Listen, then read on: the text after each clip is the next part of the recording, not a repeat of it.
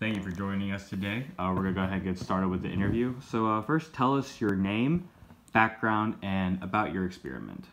Uh, my name is Dr. Robert Millikan. I work at Columbia University teaching physics.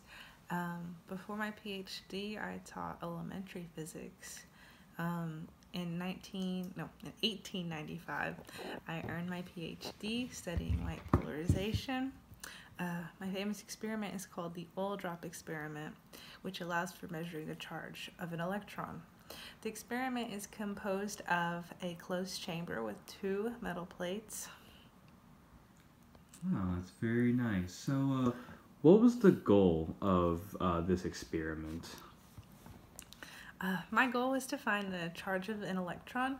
Um, when conducting the experiment, the metal plates will get a negative or positive charge when an electric current is present. Oil drops are sprayed into the chamber and they fall through the upper metal plate. Uh, electrons in the air attach themselves, revealing the ne a negative charge. Uh, with a light source, the drops slide up so they can be found when they fall its mass can be calculated. The overall electric charge can be calculated using um, using the values of the voltage and the mass. Um, this experiment was significant because the existence of subatomic particles was not universally accepted beforehand. Excellent. That's really that's really cool. So, uh, where did this uh, experiment take place? Um, this experiment was conducted at my workplace, uh, the Ryerson Physical Laboratory at the University of Chicago. Um, I was a professor and then promoted to an assistantship in 1896 for physics. In total, I worked there around 15 years and I left around 1921 to go to the University of Columbia. Um, many other well-known physicists have worked in this lab and some of them include the Manhattan Project physicists. Excellent. So, uh, what else was going on around the world uh, when you did this experiment? Hmm, okay. So events that happened around the time of this experiment in um, 1909 include uh, the formation of the NAACP because of inequality. Um, President Taft was sworn into office as the 27th president, um, and Swedish writer Selma Lagerlöf was the first woman to win the Nobel Peace Prize in Literature. And also, the 16th Amendment was passed, which gave power to tax incomes. Excellent. So, uh, besides yourself, who else worked on this project? Okay, um, my partner's name was Harvey Fletcher. Harvey and I worked on other projects together, like developing um, hearing aid type of devices, a, a hearing aid type of device. Um, his contribution to, on this project was so significant that it would not have been successful without him. Excellent. So, what was your main role in doing this project?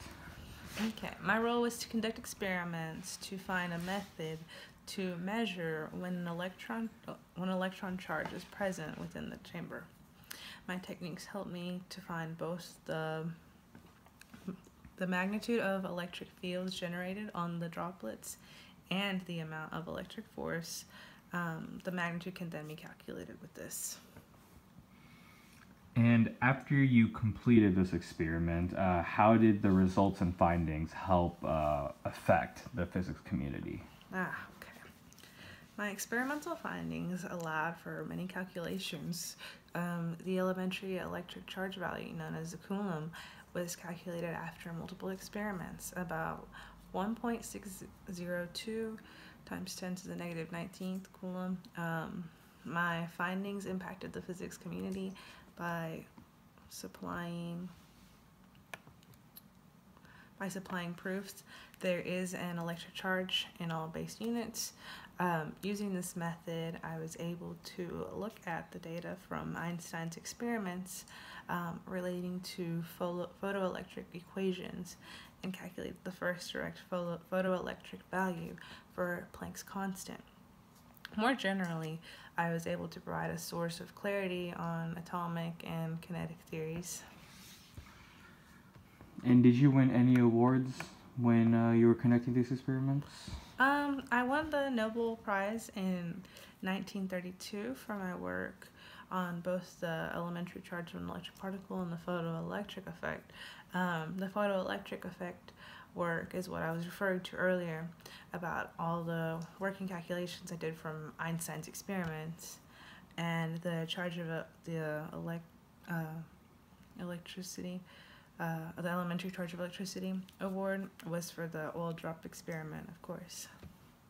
Excellent. Well, thank you for your time today. Thank you.